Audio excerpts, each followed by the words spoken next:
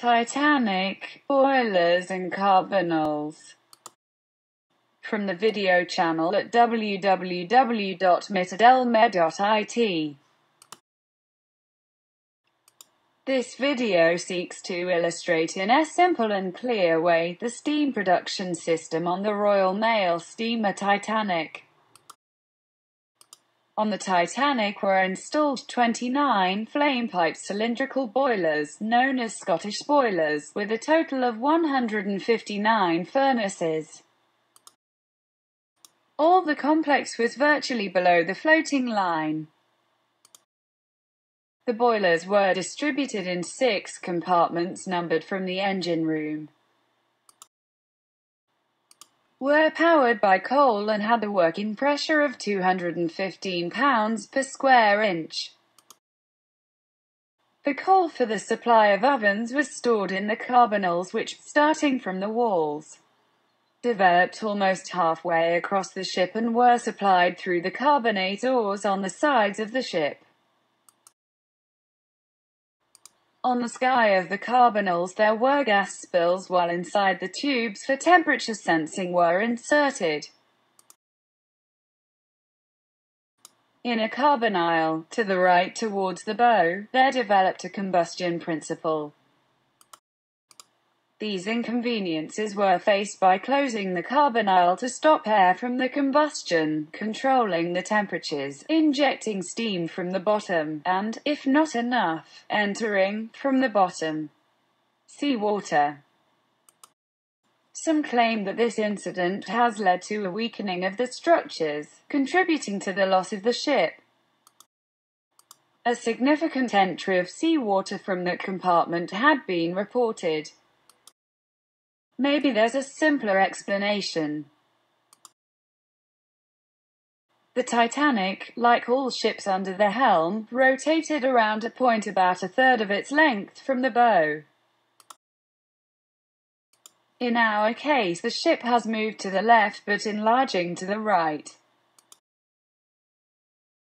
In this bend the Titanic was pushing more and more against the iceberg, bearing in mind that after the bow the hull expanded. Probably the waterways realized at the height of the fifth compartment were particularly extensive.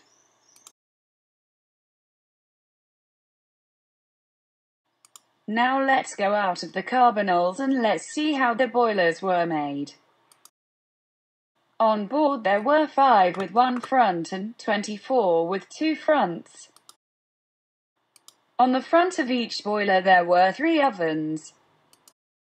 Boilers of this type were basically made up of an oven, a firebox, a tube bundle and a smoking case connected to the chimney. This is a boiler with two fronts. This is a boiler where you see the smoke box. Lower down there are the three ovens with their respective loading doors, the ash drainage ports and two steps for the internal visit. Here, after removing the smoke box, you see the pipe plates and the heads of the tie rods. Here we enter the boiler and see the pipes leaving the fireplace and the ovens from which the doors have been removed. This is a steam pickup valve for cylindrical boilers of the type installed on the Titanic. Two pickup valves must be fitted on each boiler, which are, of course, located in the upper part where the steam is collected. The arrows indicate the input and output paths of the steam. Each boiler must be equipped with two feed valves to reintroduce water that is output in the form of steam. The feed pump pushes the water from the bottom and when the pressure exceeds that of the boiler, the valve rises and allows the passage of the water. As soon as the alternative pump stops pushing the valve closes. The amount of water is controlled by the stoker that manually moves on the hand wheel by properly adjusting the stroke of the valve. In the cylindrical boilers of the type installed on the Titanic, the valves were placed one on each side above the ovens. The water level in the boiler is very important. Hot parts must never be discovered to avoid serious damage. An important moment that requires the greatest commitment by the stokers is when, in maneuver, but even more so in the event of an emergency. There are strong changes in the steam demand from the engine room. In the case of the Titanic, this situation was particularly severe when the sudden stopping of the ship was requested. These are safety valves to prevent boiler pressure from exceeding the boiler's resistance limits. They consist of valves held in place by springs. The safety valves open automatically. If somewhere you read that they are open to ship's personnel, someone tells you lies. Now we just have to see how the coal burns in ovens with particular reference to the Titanic. Steam production is closely related to combustion activity, which in turn depends on the amount of air that is fed into the hearth. The air movement through the fireplace and the subsequent ducts takes the name of drain.